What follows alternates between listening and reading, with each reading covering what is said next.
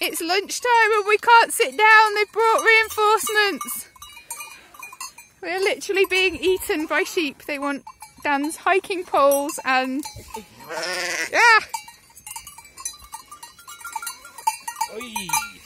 Easy, tiger.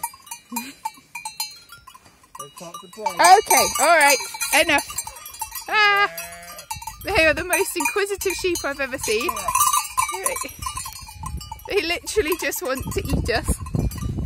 Or lick us. Hello you.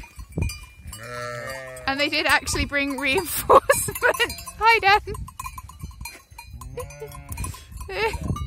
we want to have our lunch, but we are being chased off.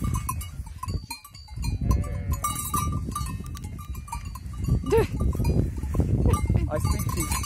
Where am you? When you need him? Give us a lamb, give us the kids. You what? They bought the kids, look. They bought the kids. Oh, there's a little one. Like, where among you? Right, off we go then, chased off by sheep.